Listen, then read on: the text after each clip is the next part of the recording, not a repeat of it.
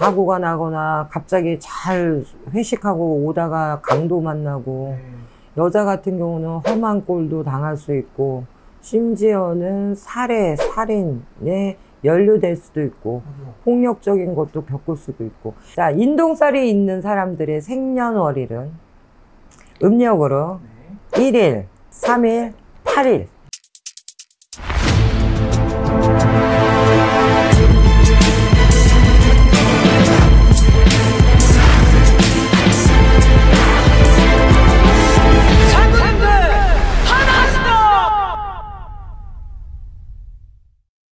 선생님 안녕하세요. 안녕하세요 이전 시간에 선생님이 나중에 한번 이야기를 해볼 음, 것이다라고 음. 했었던 인동살에 대한 이야기를 좀 해보고 싶어요. 자 여러분 인동살이라는 게 있어요 네. 그리고 간혹 상담을 하다 보면 뭐 너는 인동살이 있어 이렇게 얘기 들으신 분들도 꽤 있을 거야 그렇죠. 인동살이 뭐냐면은요 내 윗대 조상의 업보를 이어받는 살. 내 조상의 지은 죄, 내 조상의 원지고 한진 업들이 네. 자손한테 영향을 미치는데 하필이면 그게 내 사주 안에 들어있는 거야. 오. 좋은 건 아니죠. 살 중에서 제일 더러워. 안 좋아. 근데 그 인동살이라는 것이 들어있으면 사주가 어떤 식으로 흘러가냐면 첫 번째, 결혼 생활의 유지가 안 된다. 두 번, 세 번도 가고, 뭐, 남편도 잡아먹고, 남편도 뭐, 안 좋고, 여러 가지 이제 풍파, 여염집 여자들의 현모양처의 삶을 살수 없다. 어. 두 번째, 자식이 안 풀린다. 처음에는 애들이 공부도 좀 하고, 범생이 노릇을 하다가 나중에 보니까 껌 씹고 애들은 애들대로 안 풀리고 그 다음에 또 부모하고 나랑 안 맞아 난 나가 살아야 돼 도- 아무도 내 마음을 이해를 못해 그 다음에 돈의 환란이 너무 많아 돈으로 인해서 좀 처음에 왜 오픈하면은 장사 되게 잘 되고 네. 오픈빨 받고 막. 하, 1년은 갈고리로 돈을 긁어. 근데 시간이 지날수록 말아먹어. 뭘 해도 말아먹어. 또 이제 하다못해 로또가 당첨이 돼도 나중에는 다 탈탈 털려. 그 다음에 인덕이 없어. 네. 사람들을 아무리 베풀어줘도 내 사람이 없고 고독해. 어, 등에 칼을 많이 맞아. 그 다음에 길거리에서 내가 노중의 홍해, 사고가 나거나 갑자기 잘 회식하고 오다가 강도 만나고 네. 여자 같은 경우는 험한 꼴도 당할 수 있고 심지어는 살해, 살인에 연루될 수도 있고 그리고 폭력적인 것도 겪을 수도 있고 그러니까 세상에 있는 많은 것들을 겪어요 네. 안 좋은 거를 그래서 겁살 못지않게 이 인동살도 진짜 어마무시해 근데 여기에서 네. 인동살이 들으면 다 죽어야 되네 삶의 의욕이 없네 이러면 또 안 되지 피해갈 수 있는 방법 갑부로 사는 사람 연예인 중에도 있고 음. 많은 의사, 판사, 검사들한테도 인동살이 들어 있을 수 있어.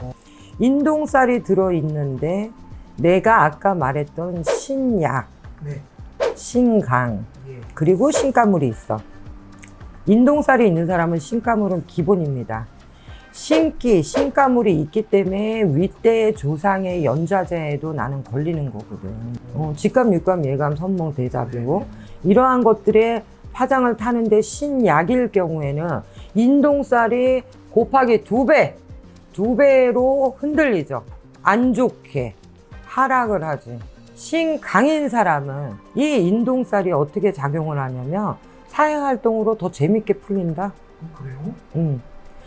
그러니까 불공평하지. 네. 얘는 약하고 얘는 강해. 네. 근데 인동살이 들어서 내 조상의 업보가 내려오는데 이 업보에서 장점을 내 쪽으로 재해석을 할 줄 아는 거야. 사주가. 그래서 여기에서 더 파워풀하게 움직이니까 장사를 하는데 이 집은 되게 같은 메뉴야. 같은 순댓국인데 이 집은 망하는데 이 집은 별 내가 봤을 땐 맛이 똑같아. 네. 도킹 대킹이야. 근데 얘는 엄청난 맛 대박집이 되는 거야. 근데 사주를 풀어보면 요런 살들의 재밌는 작용이 해.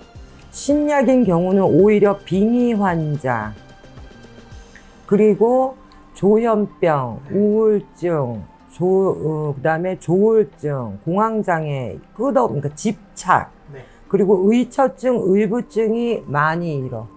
반대로 신강인 경우는 그러한 집착이 한 분야의 쟁의가 된다. 그래서 이거를 어떻게 알아요?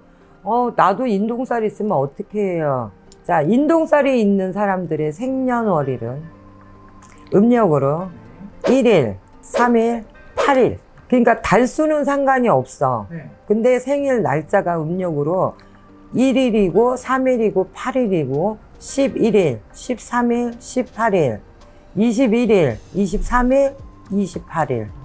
이런 분들은 신약에 가깝고 그 다음에 더 강렬하게 인동살에 정확히 그 태풍의 눈에 들어오기 때문에 정신적으로 약하기 때문에 정신병이나 집안에 대대로 장애자가 나올 수 있어. 음, 그 윗대에 죄를 지어 살생을 많이 한 조상, 누구를 살해했던 조상, 어, 그 다음에 내가 악행을 많이 저질렀던 조상, 이 모든 조상의 업보가 대대손손 자손들한테 미- 영향을 미치지. 네.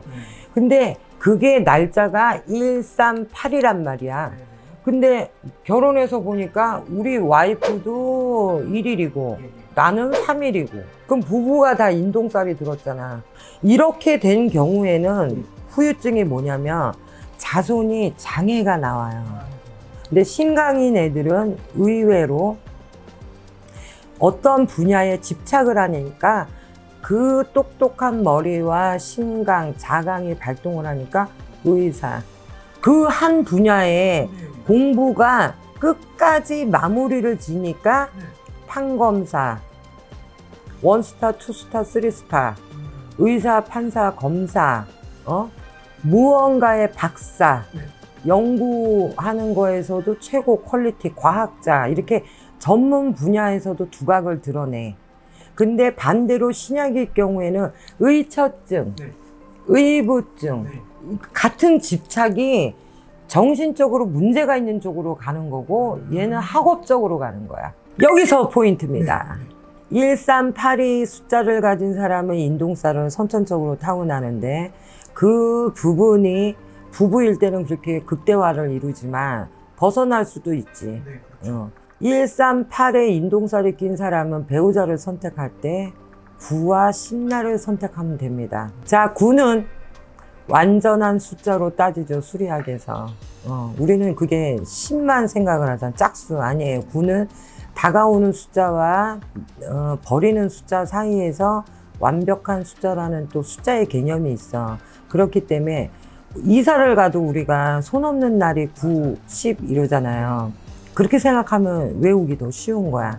그러니까 나는 138이지만 내 남편, 내 와이프가 될 사람은 9, 10, 19, 20, 29, 30 이런 날짜의 생일인 사람을 만나서 세이브를 시키는 거지. 요거는 돈 안 들이고 하는 거야. 그러게요. 세이브를 시키는 거고, 자, 전문성으로 들어갔을 때는 이거 갖고는 미약해.